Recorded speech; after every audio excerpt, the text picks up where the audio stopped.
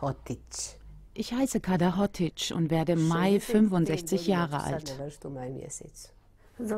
Ich heiße Ramisa Gordic, ich bin Jahrgang 1953. To je 57 godina, 57 godina. Mein Mann war in Kroatien stationiert. Ich bin dann zu ihm gezogen. Ich habe zwei Kinder. Mein Sohn Samir kam 1966 in Kroatien zur Welt. Meine Tochter Lela wurde 1974 in Srebrenica geboren, nachdem wir dorthin wieder zurückgegangen waren. A kćerku sam rodila u Srebrenici, Lejlu, 74. godine. Ich bin in Wiesegrad geboren. Ich habe 71 in Srebrenica geheiratet. Ich hatte bereits einen Sohn. 75 brachte ich meinen zweiten Sohn Mustafa zur Welt. Ich habe ihn erst 2005 beerdigt. Und dann bekam ich 88 noch meine Tochter Samia. Ich lebe jetzt mit ihr zusammen. 88 rodila Samiju, s kojom sad je živim. Der Krieg brach 92 aus, nach diesen schönen Jahren. Ich habe den ganzen Krieg in Srebrenica verbracht, zusammen mit meinem Sohn und meinem Mann. Meine Tochter studierte in Tuzla. Wir überlebten mehr schlecht als recht. Bis 1995. Zumindest wurde nicht gekämpft. Als die große serbische Offensive startete, verließen die UNO-Soldaten ihren Posten in Srebrenica. Sie verließen die Schutzzone und kehrten zur Basis des holländischen Bataillons zurück. Das war in Potokari, auf dem Gelände einer ehemaligen Fabrik für Autobatterien. U Potočarima u fabriku akumulatora koji su inače držali kao svoju bazu. An dem Morgen hörte ich Radio, einen serbischen Sender, einen anderen gab es ja nicht. Sie sagten, sie seien bereits in Bratunac und würden Srebrenica besetzen. Sie sagten, sie würden die Stadt zerstören und niemand käme lebend heraus. Mladic sagte das.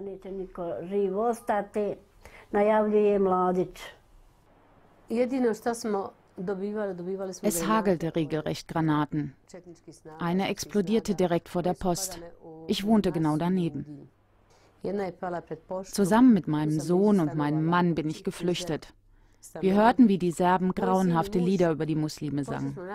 Sie schossen, brannten alles nieder und die Menschen flüchteten.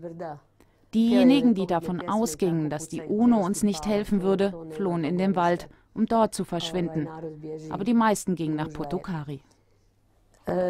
Muškarci koji su bili svjesni da od Ujedinjenih snaga nema odbrane ni zaštite, okrenuli su jednim putem prema šumi da se probiju do slobodne teritorije, dok najveći broj je krenulo u Potočare, gdje je baza UN-a. Wir wollten nach Potokari, aber ich traf meinen Schwager, der mir erzählte, dass die serbischen Soldaten bereits dort seien. Er riet meinem Mann und meinen Söhnen, durch den Wald zu fliehen. Ich wollte Mustafa bei mir behalten, aber das konnte ich nicht. Wir trennten uns an einer Kreuzung und mein Sohn sagte, Mama, ich werde dich nie wiedersehen.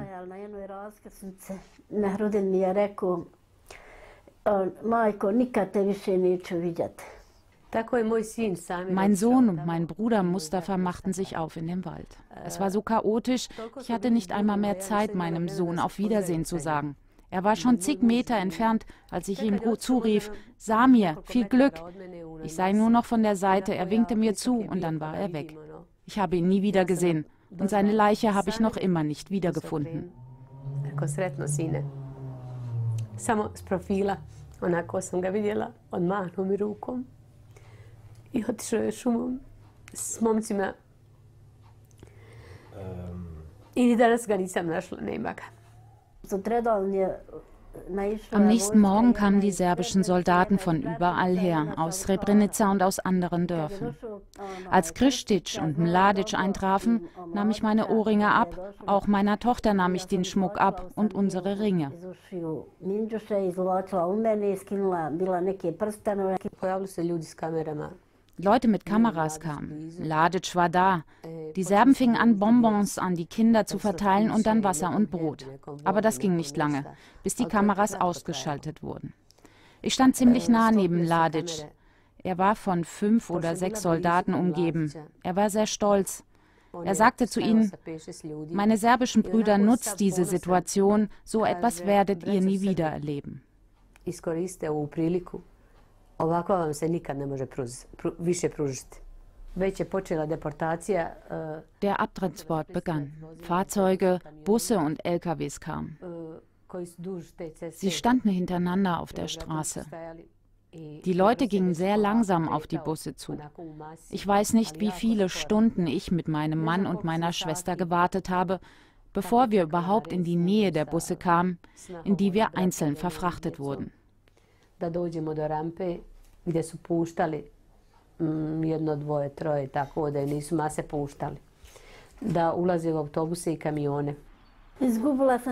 Ich habe 38 Angehörige verloren, darunter meine zwei Söhne, meinen Mann, meinen Schwager, seinen Sohn, meine Schwägerin und ihren Sohn.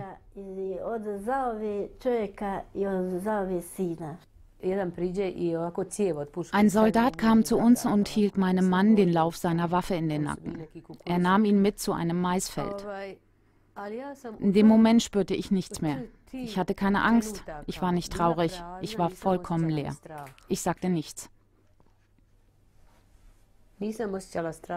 Ich stieg mechanisch in den Bus und wir fuhren los. Erst in dem Moment, in dem der Fahrer die Musik anstellte, wurde ich wütend.